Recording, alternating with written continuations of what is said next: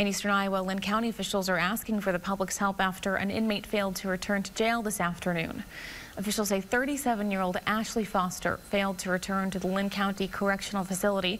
That's after she was released on a court-ordered furlough on Thursday.